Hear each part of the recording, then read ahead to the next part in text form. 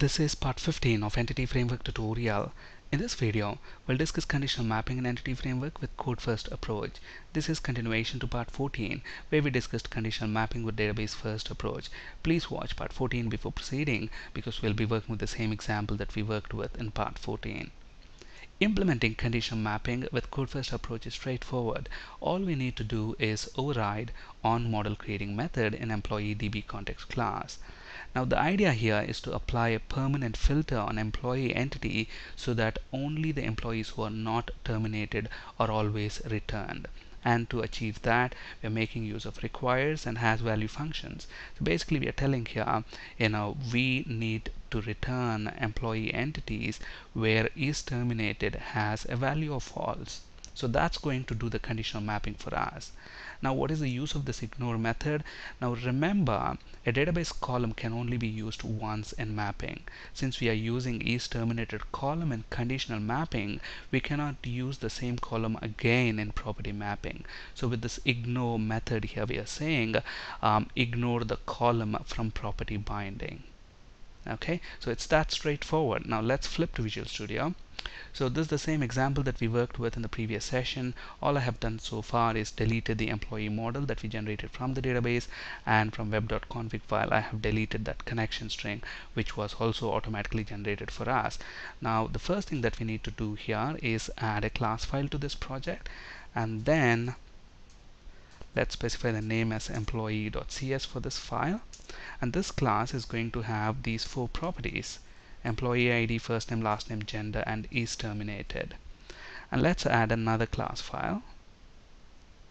And let's call this employee db context.cs and we need to import system.data.entity namespace and make this employee db context inherit from db context class.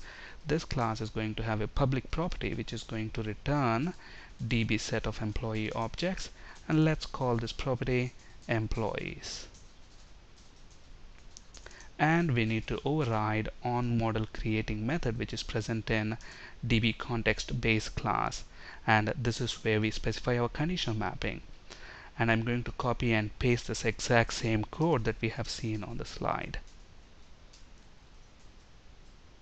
Alright. And if you look at webform1.aspx, the code on this uh, web form has not changed in any way. Now I'm going to convert this employees to list. And the reason for this is if we don't do it we get an error at runtime because when the database is first created the table is going to be empty. And then when we bind db set of employees directly to the grid view when we don't have rows we get an error at runtime. So I'm just converting it to the list so that we don't get that runtime error. And now what I'm going to do is delete the sample database which we have generated using database first approach in the previous session. And now let's go ahead and run this project. But before that let's make sure we have the connection string in web.config file. So I'm going to copy the connection string and paste that right there. So employee db context uh, is the name of the connection string which should match with the name of our db context class. So now with all these changes let's go ahead and run this. So now the sample database should be automatically created. Employees table should be created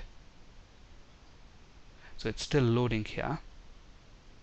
Alright now let's go here and refresh this databases. Notice that the sample database is created and we have employees table as well but it will not have any data within that. Let's execute this insert script to insert test data. So there we go.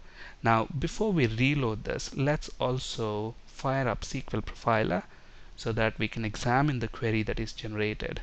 So let's connect to it using Windows authentication run a new trace and then let's reload this web form.